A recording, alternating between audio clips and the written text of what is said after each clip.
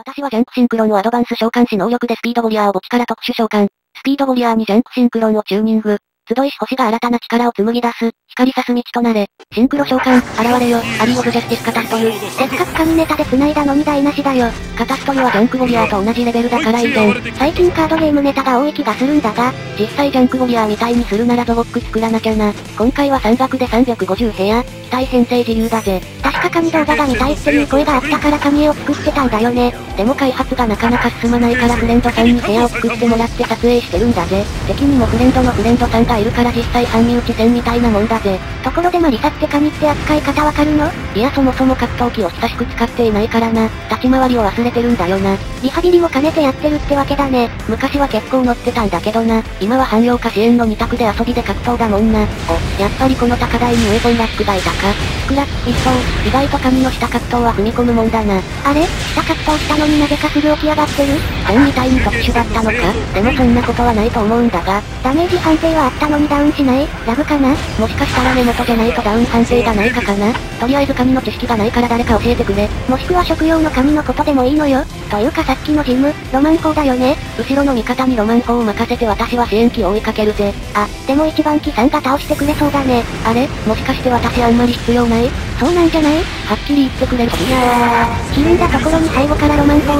こんなところにいられるか。私はこの機体を降りさせてもらう。お客様の中にワッパという方はおりませんか休館がここにいるぞ。怪我も何もしていないでしょ。何言ってるんだよ。よし、なんとか乗れた。このまま逃げる回れ回れメリーゴーランド。ああ、これはどっちにしろわた。まだだ、まだ終わらんよ。帝王に逃走はないのだ。さっき逃げるにいたじゃねえか。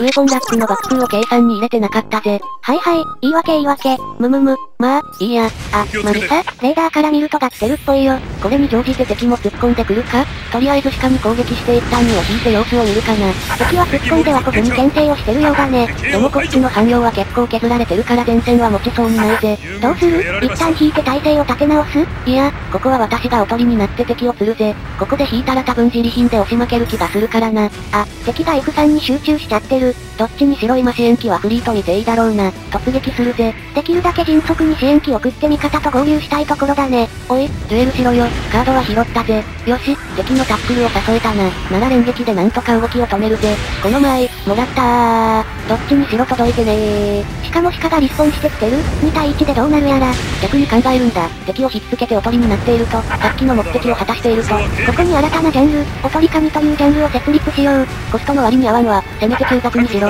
おや、味方の誰かが来てくれたみたいだね。その味方大丈夫かな？支援機相手はきついだろうからこっちの援護に来てくれないかな？シム、マリサ、左左。3体に勝てるわけないだろ。リアリクさんは誰かが抑えてくれてるから。そ、さすがにデジム相手に突撃するのはやりたくないぜ。って、後ろに鹿がいたんだった。なんで忘れてるんだよ。お願い、見逃して、逆非常口に。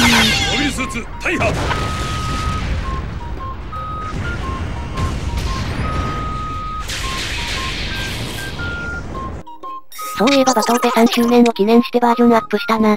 久々かなとは思うけど新マップや新要素も追加されたね。あと高速伏せがようやく修正されたな。あんまり広まらなかったのか、それとも使う人がいないのか、どっちにしろよかったね。あら、敵は突っ込んでこないのか。もしかしたら敵も疲弊しているのかもね。それか枚数が足りていないか。まあ今突っ込まれたら困るから助かるけどな。このまま体勢を立て直して再突撃をかけたいところだね。でも点差はこっちが勝ってるからここで出待ちでもいいと思うがな。まあそこら辺は味方の動きを見て考えるぜ。そういえばさっきのアプデの話に戻るけど、しゃがみとかもちょい仕様が変わったようだよ。え、それは知らなかったな。どんな感じになったの？タックルした時に最速で伏せても無敵切れる前に伏せ切れないくらい遅くなったっぽいね。ん？まあそのくらい範囲だろうな。基本的に私はその戦法使わないし。まあ高速伏せがなくなった代償と思えばね、ユニコーンができないならジャンプすればいいからね。あとセルフ無敵もできなくなったようだね。味方からの FF では無敵は作れるけど。へえ、でもその戦法も1回もやったことないからから私には関係ないな。でも無敵を作って突撃することができないとなるとジオンがちょっときつくなるかもな。コストフェアはいいにしろ無制限がちょっと殺伐とするだろうね。昇格戦以外はコストフェアでまったりやるのが得策だな。と、敵が体勢を立て直してきたかな牽制が寺い角でブンブンしてみるぜ。あらー、タックルしてくれるんですか？完全に獲物を狩る目ですわこれ。というか何カットを使ってんのさ。カニの下格闘は下判定が甘いのは分かってるけど通連撃の癖で下格闘してしまうんだよ。そういえばストライカー見て思い出したけど、緊急回避ついたっていうのは本当？ああ、なんかそういう噂があるね。でもマリサってストライカー作ってないよね。噂を鵜呑みにする気はないけど、もしついたなら開発していこうかなって考えてるぜ。ストライカーってかっこいいもんね。格闘も独特だし、個人的にはストライカーカスタムでも実装してくれたら嬉しいんだけどな。で、今はロマン砲に剣客つかけて逃亡中かな？剣客つかけるんじゃなかった。あんなタフガイによ。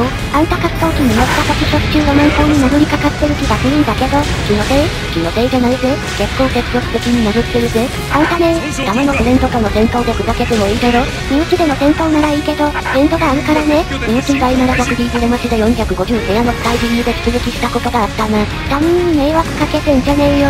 迷惑はかけてないんだよな。あれほら、迷惑をしたっけが帰ってきた。ええー、横にいるなら特攻してやる。いや、ここは休憩とってもいいと思うけど、ウェポンラックどこだバラバラに引っ張いてやろうか。あ、ウェポンラック不動にしたってことは飛行停止してるなこれ。あれなんでウェポンラックがそっちにいるのどうするどうするよ俺助けてー。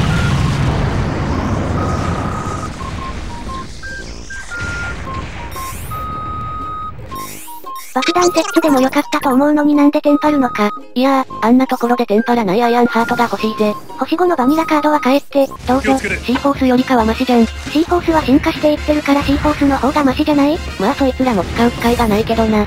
さて、味方は敵を出待ちしているようだな。でも、点差はギリギリだから敵を撃破したいね。これは悩みどころだな。全員で拠点まで逃げるか突っ込むか。奥に瀕死の敵が見えたからあいつを落としてそのまま突撃かな枚数は同じになるし、そうした方が後々思わぬボンミスで逆転されないかな。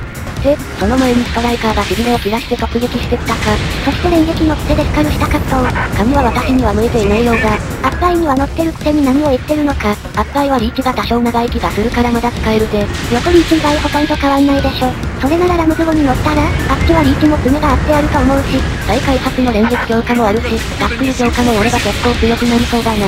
まあ作るかどうかは考えるだけだけどな。で、格闘機と一緒に寝てる間に点差も離せたな。あとはロマン砲に打ち抜かれなければいいね。け、そういえばロマン砲がダウンしてたんだった。逃げねば。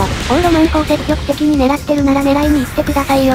さ、さすがにこの状況で無敵を持ってるロマン砲に突っ込む自殺行為はしないぜ。そしてデジムと一緒のタイミングでタックル、仲いいなあんたら。ほんと、タックル敵どうにかしなきゃな。両タックル持ちならいいんだけどね。ガーカス作ってもいいのよ。というか作って。ガーカスは面白いけど設計図レベルがな。色々作りすぎると開発ポイントが足りなくなるから作りすぎはしないぜ。今何作ってるの？ゲムカモフとストライカーとナハトとマドロップかな。星3を2枚って、というか意外と作ってるの多いね。正直目処を立てずに開発しすぎたと思っている。今後はちゃんと計画的に開発していこうね。さて、今回は散々な立ち回りだったが戦績はどうなのかな？おとりかっこ笑いしかしていない神の末路はこのようになっております。